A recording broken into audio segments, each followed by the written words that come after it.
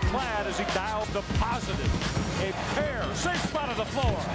Claitt's got to raise up again. Rickey Claitt is absolutely scalding.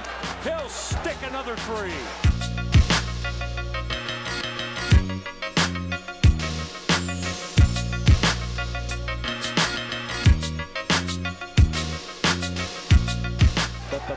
The Beavers of Oregon State have won the college basketball invitational with their road victory over the UTEP Miners.